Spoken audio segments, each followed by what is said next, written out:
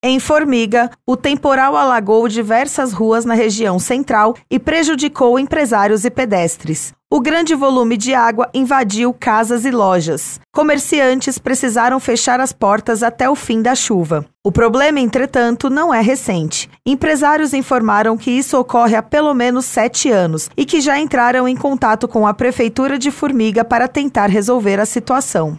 Segundo a Prefeitura, a Secretaria de Obras já avaliou o local e identificou o problema, e que a substituição das manilhas está no planejamento do Executivo para o próximo ano.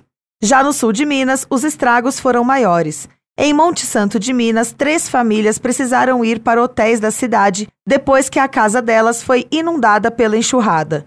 De acordo com a Defesa Civil, em pouco mais de uma hora choveu cerca de 80 milímetros. Dez casas foram atingidas.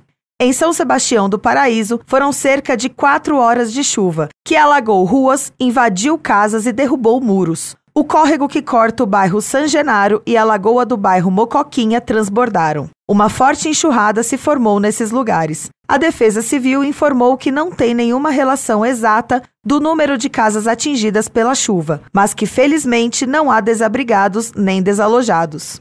Já em Santa Rita do Sapucaí, três pontes precisaram ser interditadas, ribeirões transbordaram, casas foram invadidas pela lama e houve queda de um barranco. De acordo com a Defesa Civil, choveu cerca de 110 milímetros na zona rural e 80 milímetros na área urbana. E apesar do susto, ninguém ficou desalojado ou desabrigado na cidade.